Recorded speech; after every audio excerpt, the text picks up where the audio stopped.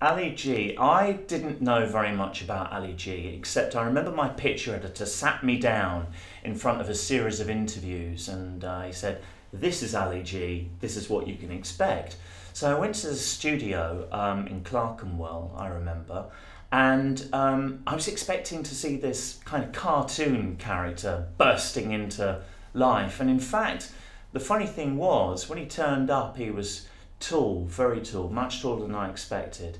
And um, he uh, was shy and he was quiet. And um, but then I remember he, he got he got changed and into his Ali G persona, and he suddenly turned into a completely different person. It was incredible, really.